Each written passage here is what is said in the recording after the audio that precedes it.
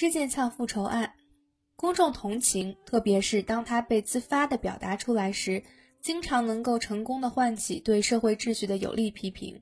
然而，同时他们也容易被操纵，并以一种可能导致灾难的方式爆发出来。上面我读的这段文字是来自于一本书，叫做《施剑翘复仇案：民国时期公众同情的兴起与影响》。这本书是汉学家林玉庆的作品，得了2007年的费正清奖，被评为东亚现代历史研究当中的最佳著作。这本书讲的是一个真实的案子：民国侠女施剑翘杀了自己的杀父仇人，鼎鼎大名的军阀孙传芳。你可能没有听过这个案子，甚至没有听过施剑翘这个名字，但其实施剑翘复仇案在民国非常有名，而施剑翘的形象也持续影响了我们当今的文艺创作。比如说，王家卫就说施剑翘是民国人的刚烈达到的极致。在《一代宗师》里，为父报仇的宫二其实就有施剑翘的影子。那更明显的就是在姜文的电影《邪不压正》里。周韵扮演的女裁缝关巧红，同样是身负杀父之仇多年，要为父报仇。她的个人经历就更像施剑翘。所以说，施剑翘本人是一个非常经典的侠女形象。但是我们今天并不想从这个艺术形象的层面来探讨它到底刚不刚，它到底烈不烈，而是回到这个案子本身。施剑翘故意杀人了，然后呢？其实很多人不知道这个案子的结果。后来施剑翘是被国民政府特赦，获得了自由，听起来好像很轻巧啊。但是去特赦一个万众瞩目的杀人犯，其实在任何现代国家都是相当复杂的过程。而在施剑翘复仇案里，涉及到一个很重要的问题，就是在民国时候，大众媒体和公共舆论的兴起，而这些舆论最后对施剑翘的命运产生了决定性的影响。所以我今天其实想讲讲这这本书。是因为我们在当今的社交网络上，总会遇到有关于舆论影响司法的辩论。比如说，当遭遇了不公平，很多人在诉诸法律失败之后，会选择在社交网络上去曝光，通过舆论造势来获得大众同情，从而在法律上获得对自己更有利的结果。我相信我们中的大多数都转发过这样的新闻，希望通过自己的一次转发或者是一次关注来贡献力量，让我们认为不公平的事情得到我们认为公平的裁决。比如说前几年就有个很著名的于欢辱母案，一个叫做余欢的少年杀了侮辱自己母亲的人，其实当时就有很多人参与讨论，希望法律能够网开一面。这时候就会有一些显得更聪明的人说。啊，这个是媒体在吃人血馒头，大众情感被操纵了，司法被干预了，大家都是乌合之众。其实我今天不是想去讨论对错，两者到底谁是对的，而是想说，其实这个现象在将近一百年前就已经出现了，并不新鲜。所以今天，让我们通过施剑翘案，从施剑翘本人、大众媒体、知识阶层、国民政府。这四个不同的角色在这个案件上不同的反应，来分析一下其中复杂的利益博弈。而这样一个势单力薄的弱女子是怎样从审判中脱罪的？一九三五年的秋天，一个叫做施剑翘的女子发现她的杀父仇人前军阀孙传芳成了天津某个居士林的理事长，她觉得自己复仇的时刻到了，所以当年的十一月十三日。孙传芳正在主持诵经仪式，施剑翘用勃朗宁手枪朝他背后射了三颗子弹，当时佛堂一下子陷入了混乱。施剑翘很冷静地说：“大家不要害怕，我是为父报仇，绝不伤害别人，我也不跑。”然后投案自首。其实施剑翘想这一天已经很久了。十年前，他的父亲施从兵是张宗昌的部下，在奉哲战役之后被俘。施从兵被孙传芳砍了头，而且还在蚌埠车站枭首示众了三天。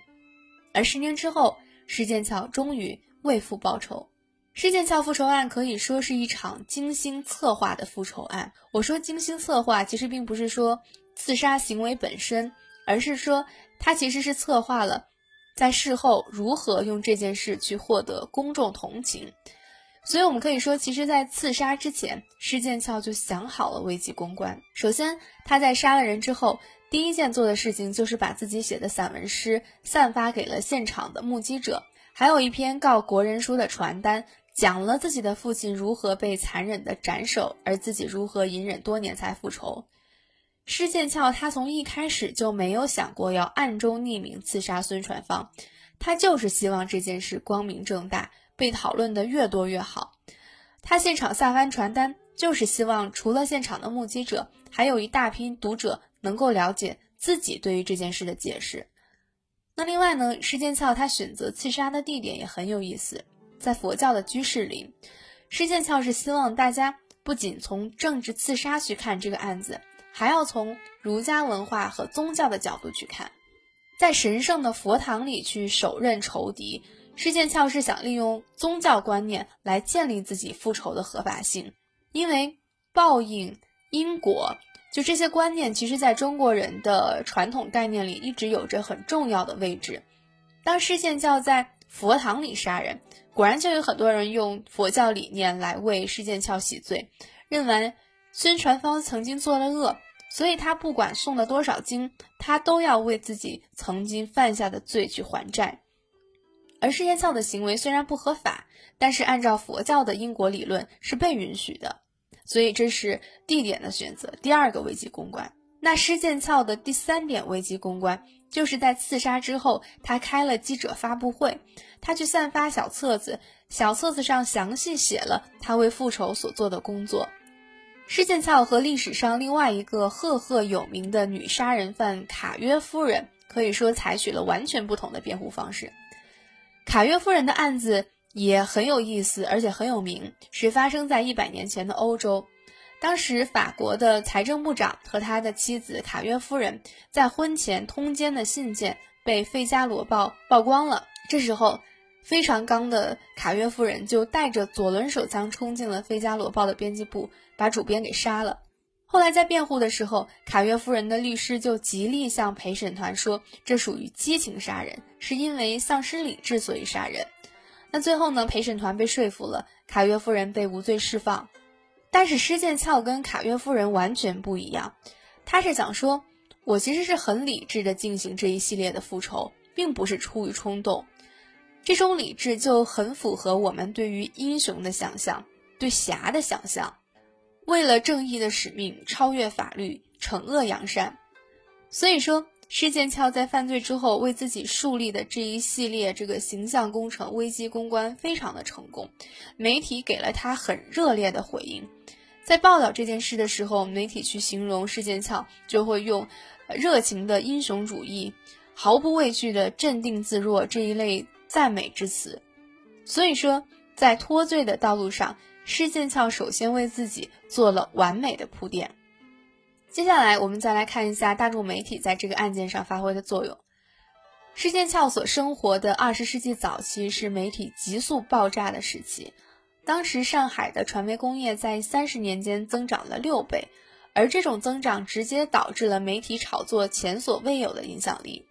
所以当时其实兴起了大量的这个去描写英雄复仇的长篇小说、报纸连载、广播剧、戏剧等等。所以，当施剑翘的案子一出，就有大量的小说、戏剧以他为原型，去歌颂他，去赞美他，去戏剧性的去表述他。那让我们来分析一下这种媒体炒作和娱乐行业在当时兴起的原因。除了经济因素，其实背后有很多的政治原因。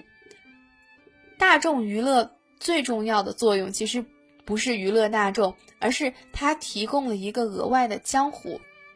是什么意思呢？就是国家控制了正常的新闻渠道，这时候剧场啊、戏剧呀、小说呀，他们就提供了一个让人去发泄的另外的渠道，一个民间的渠道，一个另类的渠道。其实这就很像是当今的什么自媒体营销号、微信公众号所发挥的作用。所以说，它其实是让人们去额外的去发泄在正常途径发泄不了的情绪。而人们需要借由侠的故事去发泄什么呢？当然是对于国民党政府的不满，因为当时南京的外交软弱克制，所以引起了很多爱国情绪的反弹。而施剑翘杀了一个所谓的卖国军阀，可谓大快人心。所以施剑翘的果敢和果决，与当时人们对蒋介石政府怯懦无为的印象形成了鲜明的对比。不是任何时代都是英雄辈出的，但是在任何时代，人们都需要英雄故事，因为大家需要英雄传奇来缓解对现实的失望。人们需要相信会有人横空出世，在危难当中带来正义。